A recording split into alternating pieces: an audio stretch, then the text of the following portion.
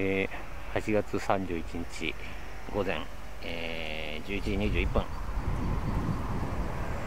えー、鹿屋市のホームページに C130 輸送機が開いて書いてあったんで急いできたんですけどもういないですね。うん。まあ資材だけ下ろしてすぐ帰っちゃったんですかね。残念。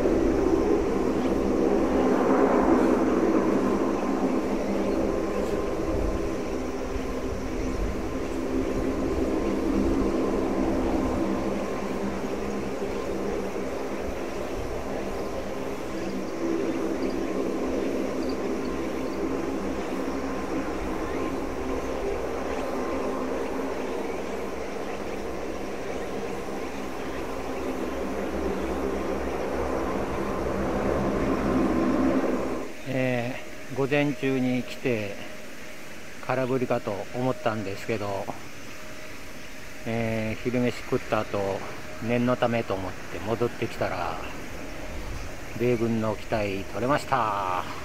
やった